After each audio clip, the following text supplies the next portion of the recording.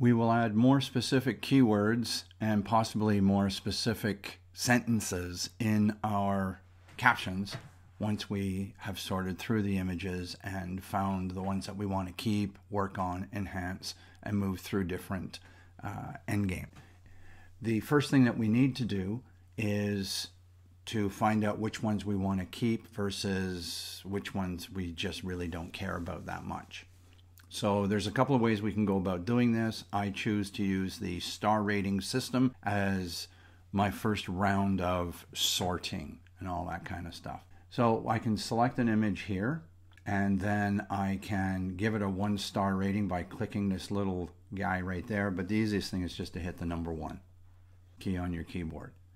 And I'm just going to come in here and hit the number one. What I'm doing is I'm giving the images that I feel deserve a second, third, or fourth look a one star. And I'm going to be choosing some that are vertical, some that are horizontal, all right, so there's my one stars. Now, what I can do is I can start using the library filter up here to filter through the various star ratings or color labels or a combination of those and all that fun stuff. So what I can do is I can come in here and go under filters off and I can choose rated. This will show me just the images that I've given a one star rating to. Now, the next thing I need to do is I need to move through these and find the ones that really catch my eye. And what I would like to do is give those a two star rating. And then possibly I would have some that meet a three star criteria, which is probably printing. So the first round of one stars could be looked at as yeah, these are good for my overall photo excursion, if you will. And then the two stars can be something like I'm going to share these ones on social media. And then the three stars would be for printing as an example. Now, that being said, I can probably use all of the one stars in a slideshow or a book that I want to create. And we'll deal with that a little bit later on.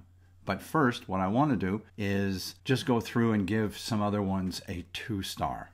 So let's look through this. I'm going to say, okay, that one deserves a two star, two star, two star, two star, two star, two star, and two star. So now I've got some one stars and I've got some two stars. Now what I'd like to do is take a look at just the two stars. So now I need to come over here where we see the row of options for us to view the rated, if you will.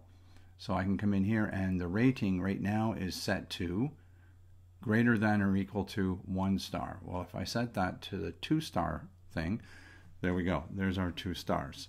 Now from these two stars, what I would like to do is find a couple that are worthy of pressing print for. So I'm going to come over here and click on this one and that's a three star. I'm going to come over here and press that one as a three star. Maybe I want that one as a three star as well. Let's do that one just for the sake of it. So now if I come over here and I can click on that and now I can see just my three stars. I can also come in here and set it to the rating is equal to three stars or the rating is equal to two stars or the rating is equal to one star.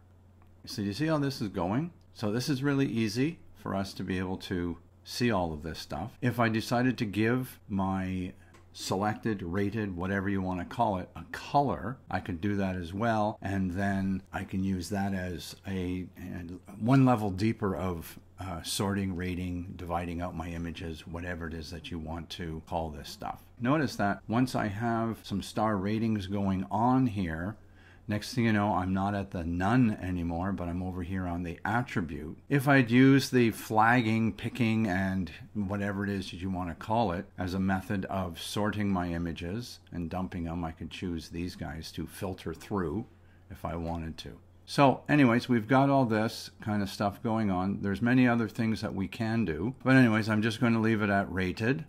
I'm going to go over here to filters off. And now I get to see all of my images, the ones with the star ratings, the ones without. If I come in here and choose unrated, then these are the ones that I didn't choose at all. Kind of interesting that we got that option there as well. So I'm just going to go back to the filters off scenario here. I do want to just talk a little bit about these guys up here. If I click on the text option, then I can see that the next row down shows us text, any searchable field, oh, file name, copy name. So these are our places that we can actually search for our images and contains all, con doesn't contain, contains words of, contains la la la la la la, starts with, ends with. We've got all this search parameter stuff that we can deal with. The next one is attributes. And the attributes would be a star rating or a color label or something along those lines. Metadata. This is very, very interesting. We can actually sort our images based on certain criteria, such as the date or whether they've been flagged, rated, and a rating and a camera and all that kind of stuff. It's just crazy. Here's the camera one right here. Here's the lenses. And right now I was using a 24 to 85 2.8 to f4 zoom lens. Funny, I'd actually forgotten I own that lens. But it was a great carry around lens and uh, all that kind of fun stuff. It's 24 to 85. Anyways, we've got that, or we can come over here and click none. All right, that is everything that I wanted to talk about as far as sorting through your images. And the next thing I want to deal with is something over here, and it's called collections. See you in the next video.